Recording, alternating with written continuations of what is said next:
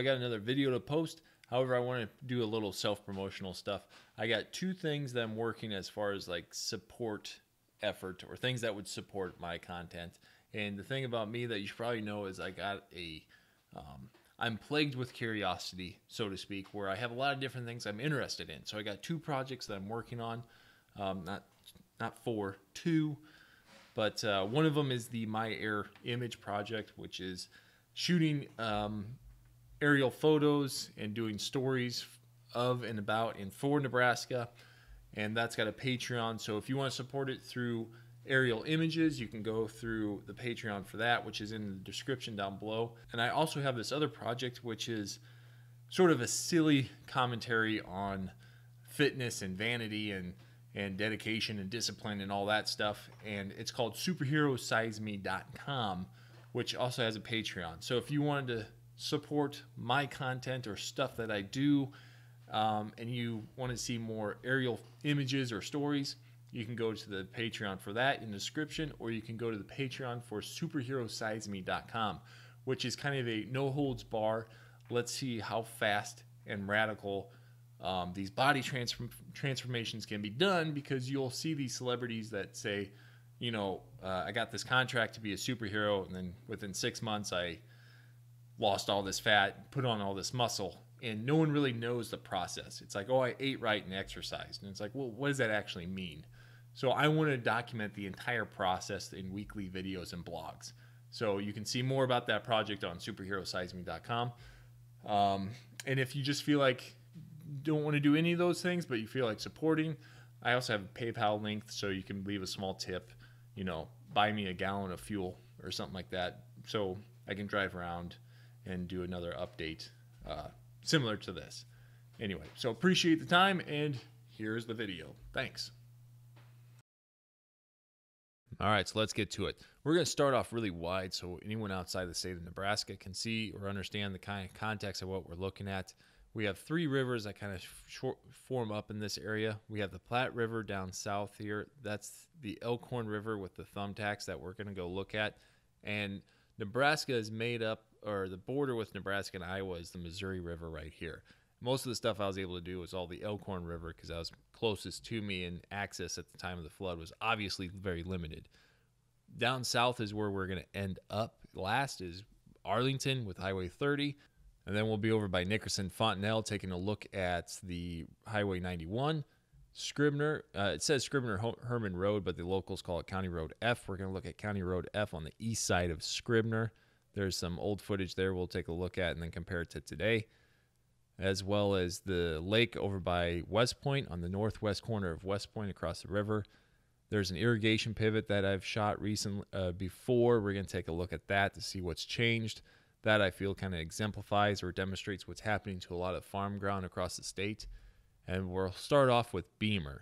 What I want you to notice is this little oxbow here that we've shot before. If you're not familiar with it, that's uh, that's been compromised, as well as this group of trees here. Uh, that group of trees kind of forces the river to go uh, to the upper right corner against that dirt, and then it swirls in that little oxbow, which is kind of eating the dirt away going towards that road. And this is like the only access you have to the south side of Beemer across the river. So that's what that oxbow looked like shortly after the floodwaters receded.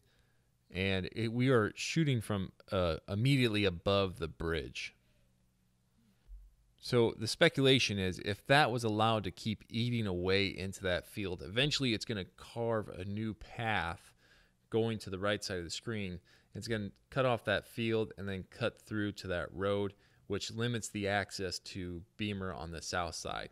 So they need to find out how to correct that. And like I said, that group of trees that I was talking about to focus on, that is dead center in the screen right now. You'll notice a lot of those trees are being uh, chopped down. They're sort of doing their Paul Bunyan thing.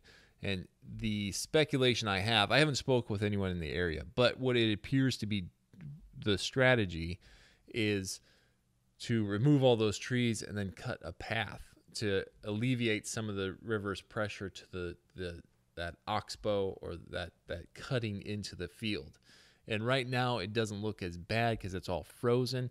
my guess is since it's probably a little bit shallower there and maybe there's not as much movement, it's it freezes easier. But what I want you to notice is see how those beans that were planted are cut off as they drop into the water. That tells me at one point the farmer was able to plant beans there because it was corn during the flood. It was harvested corn, like corn stalks were there. So he had planted beans, and then from the time that he planted them to the time he was ready to harvest, all that had been cut away. So the problem had persisted well after uh, the spring and the planting, and as he was about to go harvest. So, like I said, the plan it looks like is to remove all the trees here and then cut that section away to allow the river to redirect some of its force down below. So I don't know what the ultimate goal is.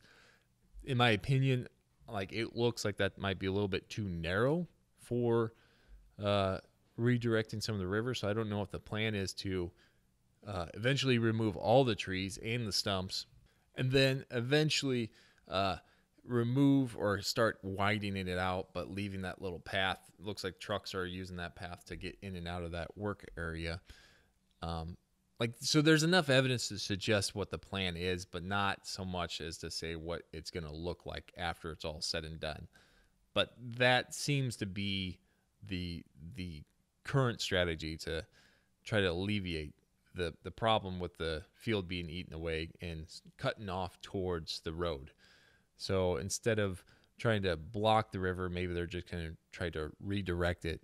So that was an interesting observation. That's something I did not anticipate to find. I thought maybe they tried to somehow evade it elsewhere. Moving on, though, we'll go down to this uh, irrigation pivots that was kind of popular in other videos. It because I feel like this most dramatically dramatically shows what's happening that cursor is kind of showing where the first leg of the irrigation pivot is. All that ground is now gone. The river had moved and carved its way to the northeast. In the left third of the screen, you'll see the center pivot there, and you'll see how much sand had been dumped onto this field. This was immediately after the floodwaters receded. I had done a follow up video to this one that was maybe, I think, five months after the floodwaters, where it now looks like this. You'll notice the first leg of the pivot's there, but the center pivot is now in the river. It's hard to tell since it's frozen and there's snow on top of the ice, but that is now in the river. And you'll notice that hard uh, embankment that shows where the river is currently at. And then everything from that center pivot almost off to those that tree line up to the top of the screen the river was up towards that tree line. That was the original path. So that farmer, I believe, I think when I did the math in the previous video, it was close to 50 some acres that were either covered with sand or fallen into the river as it continually carves against that soil. Since it's soft soil and the trees were wiped out that formed the embankment, there's no roots to give it strength to retain the soil. And so it's just all started falling in. Moving on, we're going to go to the lake that's just slightly down the river from there in northwest edge of West Point. What I want you to notice is how the Elkhorn River curves right there, and then there's these narrow bands that uh, separate the lake and the river. You have the the water for the lake on the left, separated by that narrow road, and then on the right side you have the Elkhorn River. You'll have one at the top, and then at the far south end, you'll have one again that separates the uh, lake and the river.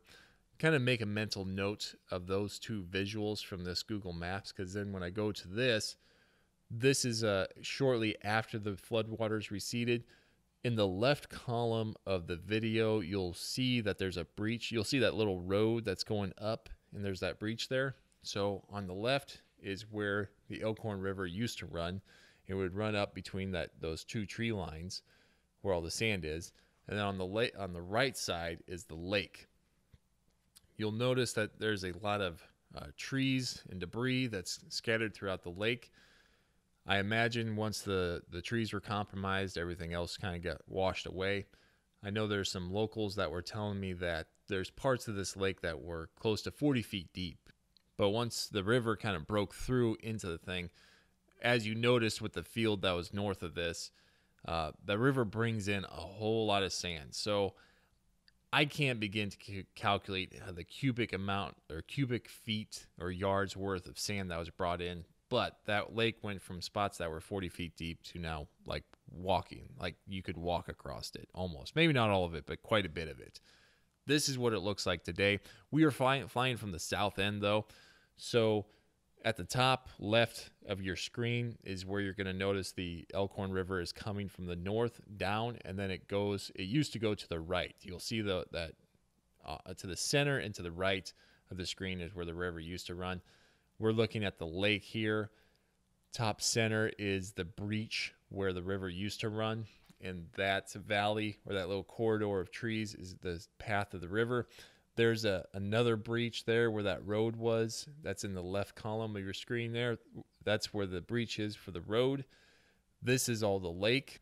There hasn't been much that has changed from when I shot the last video, but I wanted to kind of get up there with the drone and do a full 100 full 360 degree pan around so people can see it. At this point my battery alarm started going off and I wanted to get a shot there at the left center up to your screen. You'll see that little shine on the water. That's the lake going back into where the river is, or the river having gone through the lake that's underneath us and then connecting back to the old river. West Point is there underneath the, the sunrise there. So it's hard to see West Point because it's in that overexposed spot. But now we are flying on the lake and headed back because I uh, had to recharge the battery. And then we moved on to further south, a little bit of a stretch down the road on 275. We got to Scribner. Scribner, you may remember, has that levee system that surrounds the entire town and worked very, very well. Uh, and we'll go back and look at a video of that shortly. But I want you to know this is a County Road F, which is also known as Scribner Herman Road that connects Scribner, and it's a paved road all the way to Herman. But that levee system has that gate over 275 that's right here. This is me flying to that gate from the west end of Scribner.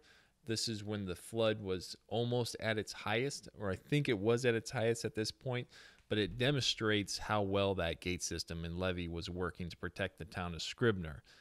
But I guess, I mean, this is a good thing that it worked this well, but the the side effect of a levee system like this is it also directs a lot of water around it. I feel like that might have an effect as far as this uh, this kind of blowout area that we're going to take a look at here soon.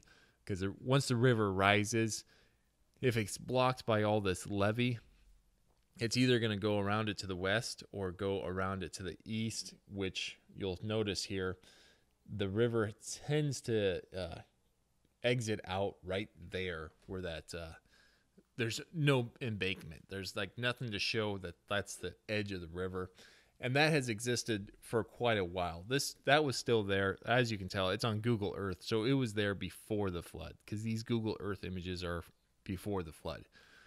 But looking at this old video from immediately after the floodwaters had receded, you can kind of tell how since there's a part of the river bank that's weakened or just non existent, the it's going to want to escape out there as often as in and as intense as it wants to.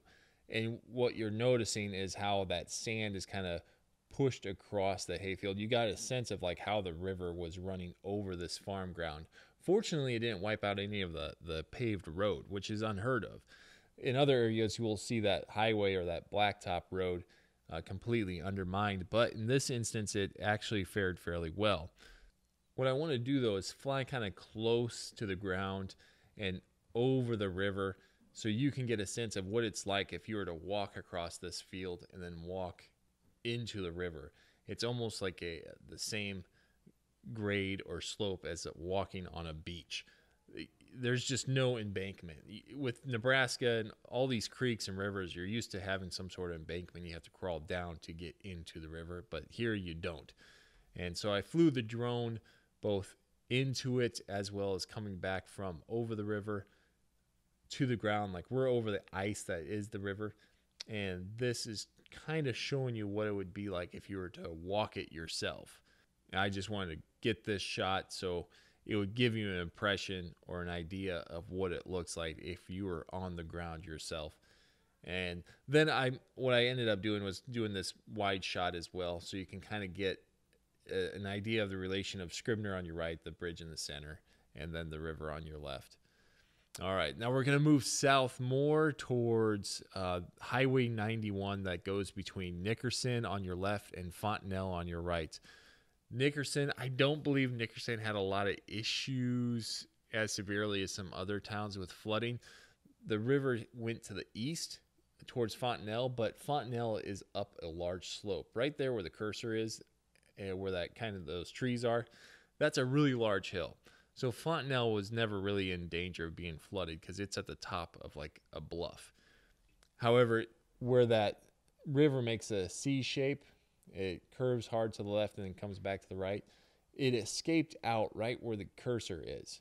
And in the other videos, you'll notice where this section of Highway 91 was incredibly undermined and wiped away. There's a lot of rebuilding done in this area because once it escaped out there, it flew straight south and reconnected with itself once it curved back around. Because these rivers are notoriously windy and bendy, and I I imagine that has an effect is where the damage is going to be done once they kind of break out of the banks. And the funny thing is, when I was going through my old videos to kind of do the juxtaposition, I was confusing this section with the section of Scribner that we just saw previously because they look almost identical as far as a blacktop road that runs across and then another small road that runs uh, left to right on your screen. Scribner has the same kind of geographic setup. However, I don't know why it was so much more uh, destructive here when it comes to like the road damage. The Scribner Herman Road was fine. There's like a lot of debris on it, and you had to had the sand pushed off the road and cleaned up. But you didn't have sections of it that were completely chewed away like you're seeing here. You got cables that were buried either like alongside or underneath the road um, that were dug up, and then slabs of concrete that were just washed away. And this embankment, I I think what they're trying to do, you'll see some dirt moving equipment there at the bottom of your screen. They're making more of an effort to like rebuild that river embankment. In the old video, that red barn, I know that had a lot of dirt washed out from underneath it. That house, that whole farm place had been flooded. Uh, they were in the the brunt of it, and parts of this farm ground had the, sand deposited all over it, so they couldn't farm it this year. They probably won't be able to farm it again for a while. And like you like you may notice right there, that hill that goes up along the trees. That's what I was talking about earlier. Fontenelle's at the top of all those trees, uh, or that hill where all the trees are at. So Fontenelle was fine. But that section of road that I'm panning across now, all of that has been rebuilt and um, cleaned up. And similar to over at Scribner, I want to have a shot where I fly low over the ground and then into or over the river.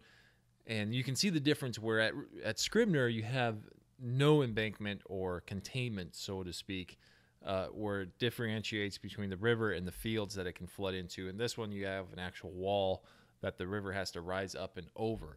Now, there's already concerns for 2020 that there's going to be high floods. I think the rivers are already higher than what they're supposed to be at this time of year.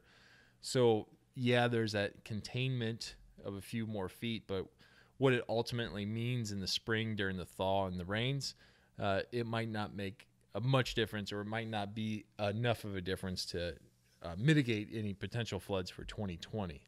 And something else that I think is worth knowing is I, you know, I never claim to be an expert, so I hope you don't confuse me to be an expert. I'm just trying to make observations.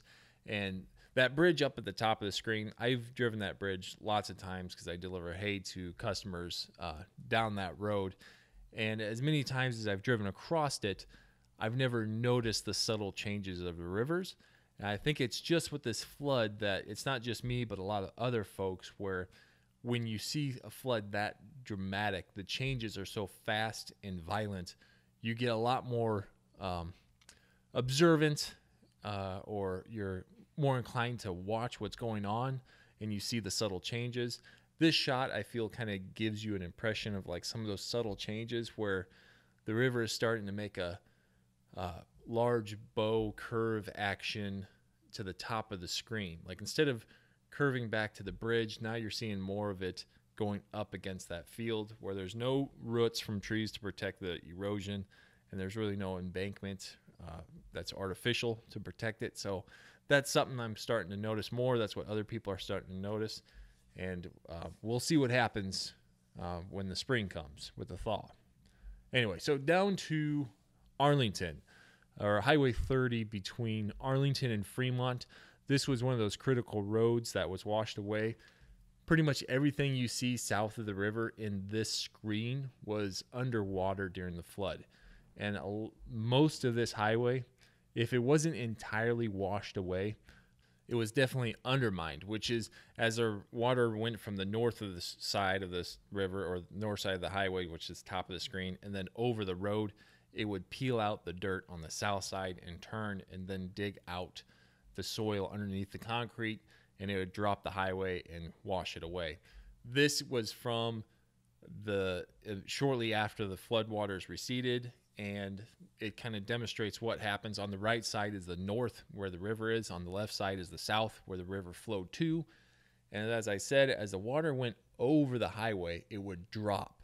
And that drop would create this hydraulic um, drop or hydraulic jump action, and it would turn and swirl there. And as it swirled, it would peel away the dirt. Now, how, what was different in this spot, particularly where it created a small lake? I, I don't know what was different in that particular area, why the erosion was so much more severe, but obviously you can tell uh, that was not an easy fix. This was one of those roads that was critical to get opened again, as well as the one we just saw over at Highway 91 between Nickerson and Fontenelle, because there's a lot of families or a lot of a lot of homes on the east side of the river that commute to Fremont for work or services or anything of that nature. And having both those bridges closed or both those highways closed made 15 minute commutes turned into 45 minute or one hour commutes because they had to go even further south or north to get across the, the river. So, this is what it looks like today. Uh, not much that's noteworthy. Obviously, you can tell it's been fixed and repaired, and the highway is opened and traffic is flowing the one thing I wanted to notice or make you aware of is when you look at Arlington here in the Elkhorn River as it curves off to your left side of the screen, it is parallel or somewhat parallel to the highway that's south of it. So the Elkhorn River is there, that's Highway 30. When that river flooded, everything you see in the screen now is pretty much underwater. And all those homes, if they hadn't been evacuated, I believe it was airboats and helicopters that had to evacuate people because there's just no way you're going to drive there. Okay, so that wraps up our 2020 recap of the 2019 flood locations. I didn't get to everything I've been to before. Uh, North Bend and Winslow, I haven't gone back to yet, but that gives you an idea of where we're at. Like I said, if you feel like supporting some of this content, check the description down below as far as the Patreon po- projects or uh, a PayPal donation if you feel like it. So appreciate the time. Uh, thanks for watching. Have a good one and uh, best of luck for this coming spring because I feel like we may have this problem again. Okay, see ya.